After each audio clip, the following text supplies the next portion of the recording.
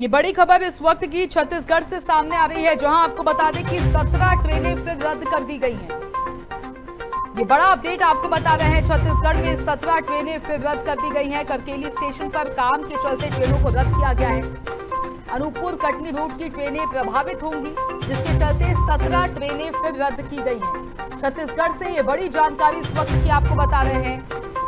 Karkeli station पर काम के चलते ट्रेनों को रद्द किया गया है। ये बड़ा अपडेट इस वक्त का सामने आ रहा है। 14 से 20 नवंबर तक 17 ट्रेनें रद्द रहेंगी ये बड़ा अपडेट आपको बता रहे हैं। साथ ही बता दें, ट्रेनें रद्द होने से यात्रियों की परेशानी भी बढ़ी है। अनूपपुर कटनी रूट की ट्रेनें काफ़ी प्रभावित होंगी। ये बड़ी जानकारी आपको बता रहे हैं। छत्तीसगढ़ से बड़ी खबर सामने आ रही है। सत्रह ट्रेनें फिर रद्द कर दी गई हैं। करकेली स्टेशन पर काम के चलते ट्रेनों को रद्द किया गया। है